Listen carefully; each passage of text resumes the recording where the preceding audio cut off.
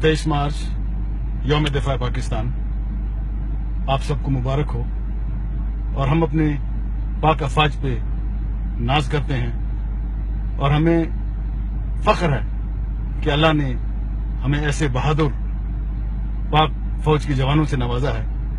और हम अपने पाक फौज के जवानों को ये यकीन दिलाना चाहते हैं कि इंशाल्लाह आपके शाना बशाना इस पाक वतन के दिफा के लिए किसी भी कुर्बानी से दरेक नहीं करेंगे। पाकिस्तान जिंदाबाद बलोचिस्तान पाइंदाबाद